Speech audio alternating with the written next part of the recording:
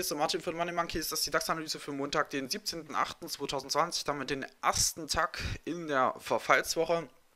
Äh, Sie kennen das vielleicht aus den vergangenen Monaten. Verfallswochen empfinde ich persönlich immer als etwas anders strukturiert, einfach weil gewisse Zwänge da sind, die an anderen Wochen und Monaten nicht da sind. Ja? Ähm, das heißt, in der Verfallswoche verfallen halt Optionen auf, also größere Optionen auf den DAX, bei dem gewisse Marktteilnehmer Beispiel auf hohe Kurse gewettet haben, andere haben auf niedrigere gewettet und durchaus auch Marktteilnehmer, die entsprechende Budgets zur Verfügung haben, um auch mal einen Kurs dahin zu treiben, wo sie ihn vielleicht brauchen. Ja. Auf der anderen Seite hat man dann die Stillhalter, die versuchen, die Abrechnung dieser Option in einem bestimmten Fenster zu halten. Da gibt es auch verschiedene Auswertungen. Da halte ich nicht mehr sonderlich viel von, weil ich einfach immer merke, dass es den meisten eher nicht hilft, sondern dass es ihnen nur eine Meinung in den Kopf pflanzt, wo denn der DAX zum Verfall zu stehen hat und dann handeln die nur noch in die Richtung und äh, verkennen ein bisschen das, worum es eigentlich geht, nämlich darauf zu achten, wo der Markt denn eigentlich hin will. Ja, man erkennt das ja doch ganz gut, ob er nach unten treibt oder nach unten. Und wenn man dann im fallenden Markt die ganze Zeit nur ähm, dagegen haut, weil man sagt, na, der muss ja aber oben abrechnen, da ist doch Verfall, da ist doch das beste Niveau, hat man halt einfach nicht viel gekonnt. Wichtig ist für mich oder mir wichtiger ist, ihnen einfach mitzugeben, zu sagen, dass man den Verfallswoche einfach ein bisschen aufpasst, ne? weil die doch ruppigere Bewegungen haben, weil oft die Marktteilnehmer auch manchmal kleine News missbrauchen, vergewaltigen, um den Markt eben in einem kurzen Moment der fehlenden Aufmerksamkeit und dann ordentlich durchzuprügeln. Das sieht man immer wieder. Ähm, ich persönlich handle deswegen schon seit Jahren ähm, mit, mit ähm, begrenztem Risiko immer in Verfallswochen. Also ich habe immer weniger Druck quasi auf meinen Positionen, wenn ich in die Verfallswoche starte. Das ist wirklich so und das mache ich auch ja, habe es bisher noch nie bereut, dass ich es gemacht habe. Wenn wir jetzt gucken auf unseren DAX, vielleicht auch noch mal kurz äh, die Optionsscheine. Ich mache das jetzt heute erstmal und dann dann ziehe ich mal alles zusammen, was ich so an äh, Zuschriften gekriegt habe. Ähm, ob wir das jetzt die nächsten Tage weitermachen. Ähm, ich würde jetzt einfach erstmal bei den, bei den bleiben, muss aber auch dazu sagen, zu dem unteren, da kommen wir dann gleich dazu, ähm, das wäre jetzt hier so ein K.O. für mich für die Aufwärtsstrecken, das ist aber kein K.O. und das vielleicht auch für Sie gleich als wertvolles hier mitzugeben, das ist für mich kein K.O., den ich, das ich, den ich bis in die K.O. halten würde halt. Also das wäre für mich ähm, hier K.O. 12460 und ähm, auf der Short-Seite den K.O. mit 13400.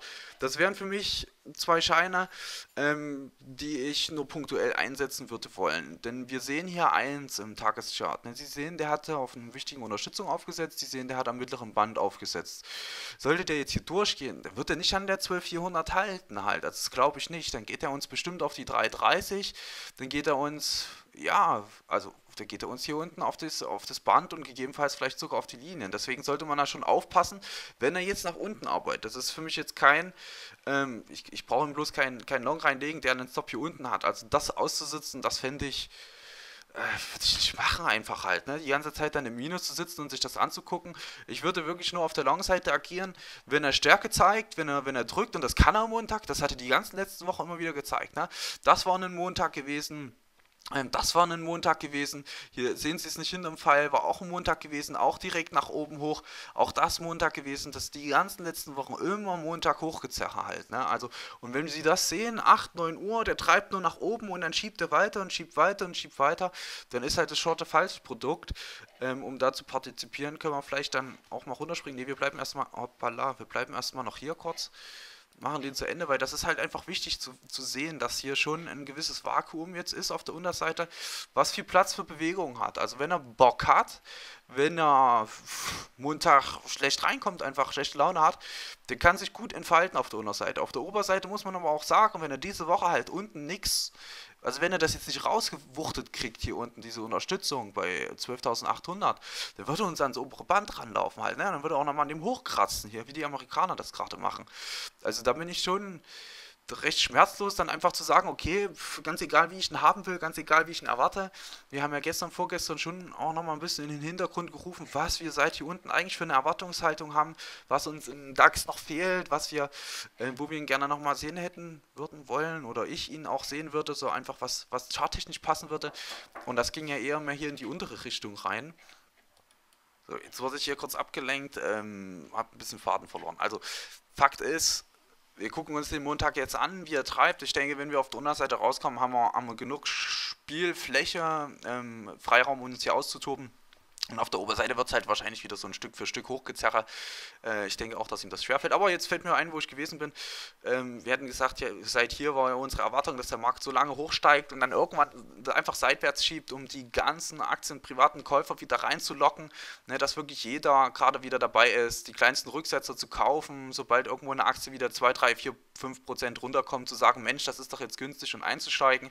Wir hatten erwartet, dass das hier passiert, ähm, haben auch hier immer gesagt, da fehlt irgendwie noch was. Ne? Die Leute sind noch nicht so richtig da und hier hat es dann angefangen. Hier haben alle ihre Short-Produkte verkauft, hier haben alle angefangen, in ETFs rein zu investieren und sie, sie sehen es ja. Seitdem ist halt deutlich so ein bisschen die Fahrt raus, seitdem sehen wir deutlichere Trendschwäche in der Aufwärtsbewegung. Die neuen Hochs, die kommen nicht mehr richtig dynamisch. Wir haben vom Bewegungswinkel, vom Steigungswinkel auch, wie er angestiegen ist, deutlich abgeflacht. Deswegen wird es mich persönlich nicht wundern, wenn wir auch auf der Unterseite einfach mal probieren, wieder eine fallende Tieffolge reinzukriegen. Einfach um die ganzen Käufer hier aus den letzten Tagen, aus den letzten Wochen rauszudrücken. Denn die sind hauptsächlich hier reingekommen. Hier unten haben nicht so viele gekauft und die, die hier unten gekauft haben, die sind meist hier in der Bewegung schon wieder ausgestiegen. Auf der privaten Seite Es sind viele, viele, viele erst hier reingekommen. Und ich könnte mir vorstellen, dass der Markt halt einfach die versucht rauszutreiben, weil das ist, das sind die, die, die, ich sag mal, die, die nervösesten Hände, ne?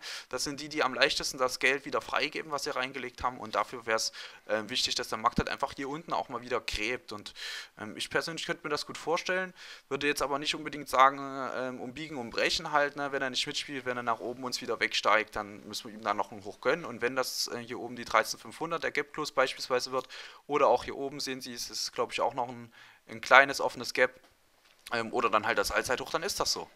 Ja, dann ne, dann hilft es dann nicht, da muss dann mitgegangen werden. Auf 2-Stunden-Ebene haben wir jetzt hier die Short-Trigger gesetzt gehabt. Sie sehen, es ist eigentlich noch voll drin. Er ist nicht nach oben angelaufen, hat zwar angezogen, ähm, hat sich dann aber deutlich drunter gewuchtet. Das erste Ziel auch schon erreicht gehabt. Das war hier dann beim ähm, Gap Plus um 12,38 gewesen. Und ähm, das zweite fehlt noch. Äh, das ist dann hier der Bereich um 57 bis 37. Das könnte jetzt zum Montag kommen. Deswegen, ich würde die Pfeile einfach erstmal drin lassen. Auf der Oberseite sollte man äh, Rückläufe, ja, ich, ich sag mal im Bereich um 69 bis 13.000, ähm, vielleicht auch knapp darüber. Ähm, sollte man ein bisschen im Blick behalten, das könnte nochmal wegdrehen. Da würde ich jetzt vielleicht auch eine kleine, eine kleine Kehr mit, Umkehr mit reinsetzen ähm, dass man quasi in die Richtung sagen, also wenn er hier oben rangeht, dann könnte er da durch, aber im Grunde müsste man hier jetzt eigentlich wirklich eine, eine Art Long-Trigger mit ansetzen und dann sagen, okay, wenn er da drüber geht, dann würde er uns so wieder komplett hoch bis zum Hochrennen halten. Ja, also das, das würde ich schon, das würde ich schon sagen, so. Also hier oben schön feinfühlig sein. Und ansonsten dürfte man den Start, der dürfte relativ ich, ich glaube, das wird schon offensichtlich. Also können wir vorstellen, dass er hier oben noch ein bisschen rumdoktert, der hat schön ausgekontert, dass er hier noch mal ein bisschen reinstartet und wenn er unter 900 und 29 bleibt, dann, dann kippt er uns wieder runter halt. Ne? Dann kippt er uns runter und dann macht er hier noch das nächste bei der 57 und wenn er Lust hat, auch die 640. Also das wäre durchaus mit einem Ritt erreichbar.